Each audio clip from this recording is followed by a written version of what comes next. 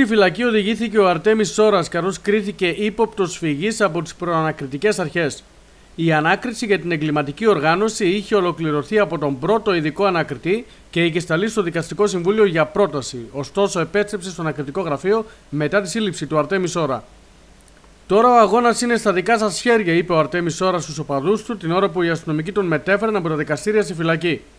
Ο αρχηγός της Ελλήνων Συνέλευσης αρνήθηκε τις κατηγορίες που του αποδίδονται, χαρακτήρισε έολο το κατηγορητήριο και προανήγγειλε προσφυγή στο Δικαστικό Συμβούλιο σε πέντε ημέρες για άρση της κράτησής του.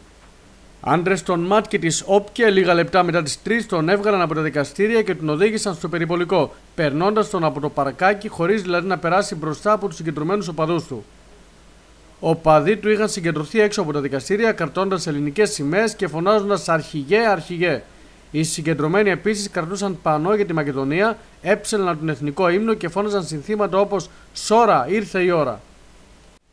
Ο Αρτέμις Σόρα με μακριά γενιάδα, μαύρο κουστούμι και χειροπέδες, καταβεβλημένος και σχεδόν αγνώριστος, οδηγήθηκε το πρωί ενώπιον του εισαγγελέα στα δικαστήρια της πρώην Σχολής Ευελπίδων, συνοδεία ισχυρής αστυνομικής δύναμης.